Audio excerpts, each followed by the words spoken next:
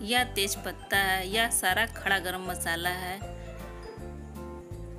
हल्दी एक चम्मच, गरम मसाला एक चम्मच, मीट मसाला एक चम्मच, मिर्चा एक चम्मच, नमक एक चम्मच, स्वाद अनुसार ले सकते हैं। मीट है एक किलो,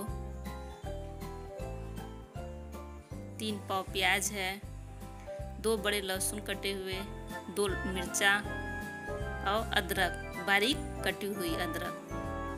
यह सामान लगेगा। देख लीजिए, मटन बनाने के लिए यह लगेगा। चलिए मटन बनाते हैं। एक कटोरी ऑयल मैंने डाला है। ऑयल गरम हो गया है। दो तेज पत्ता, दो दालचीनी मैंने इसमें डाल दिया है। लहसुन भी डाल देंगे।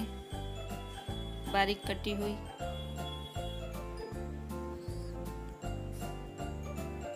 प्याज, अदरक सब इसमें डाल देना है।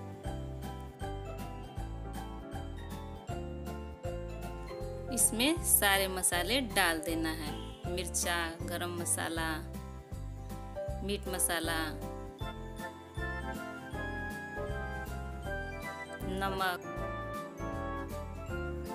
नमक स्वाद अनुसार डाल सकते हैं, कम या ज़्यादा, और हल्दी।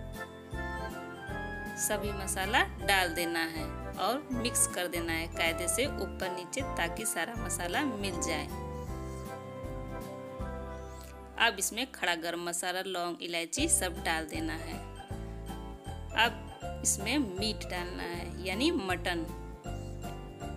इसमें डाल देना अब इसे कायदे से चला दीजिए।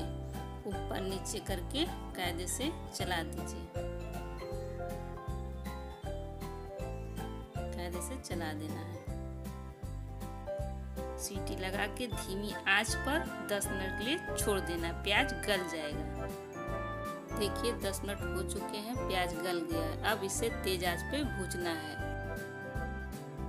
देखिए, यह तेल छोड़ चुका है। मैं एक गिलास पानी डालूँगी। आप जैसा चाहते हैं, वैसा डाल सकते हैं पानी। छः से सात सीटी लगेगी। तब मटन तैयार हो जाए। देखिए मटन तैयार है। आपको यह वीडियो अच्छा लगा तो मेरे चैनल को सब्सक्राइब